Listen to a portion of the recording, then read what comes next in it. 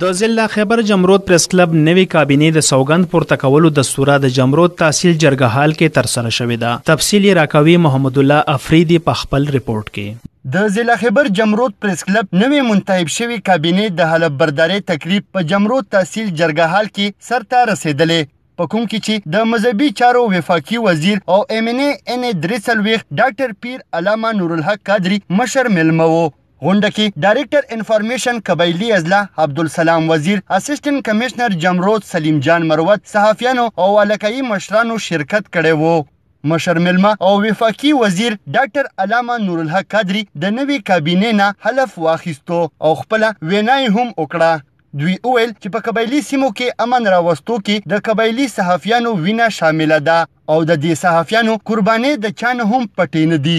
زه به د هغې کې پي کې سره څنګه طریقه د رجسټریشن وي، د کې پي کې چې کوم انفارمیشن منسټر او سیکرټري وغیره دي، ډایرکټر دی، هغوی سره به زه خبره ورباندې وکړم. ان شاء الله هغه به درله برابره کړو. فرنیچر او سیکورټي او نور که تاسو کوم شی نه پکاري، زه خو داسې د اعلانونو په باره کې ډېر زیات محتاط یم او ما ته خلک یې چې د شوم دی او سخت دی خو زه نورې لاس په ښې خوځوم نه چې کوم څه خدای پاک را کړي په هغې خپل جیب باندې مې ټول انحصار او دغه وي خو اول شعر داسې سړی چې بیا مې نه پرېږدي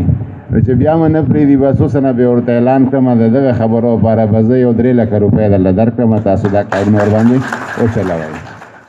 وفاقي وزیر او ایم این اې نورالحق قادري صیب وروسته د جمرود بجلي ګریډ سټیشن او د جمرود سیول هسپتال دوره هم وکړه او په جمرود سیول هسپتال کې د ګایني وارډ پرانیسته هم وکړه محمود الله خان افریدي سنو اف ام نتورک ضلع خیبر